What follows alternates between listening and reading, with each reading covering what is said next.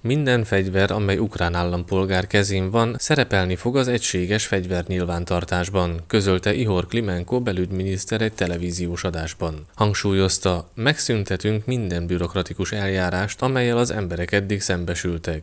Ezentúl bárki létrehozhatja személyes fiókját a fegyvernyilvántartási online rendszerben, valamint beszerezheti az engedélyezési dokumentumokat, jegyezte meg Klimenko. Szerinte így a polgárok jobban fogják tudni a fegyverhasználattal kapcsolatos jogaikat és kötelezettségeiket, és ez lehetővé teszi az állam számára, hogy ellenőrizni tudja a kezükben lévő fegyvereket. Hozzátette, az adatbázis elindítását követő első három órában több mint 3500 fegyver tulajdonos és érdeklődő regisztrált az oldalon.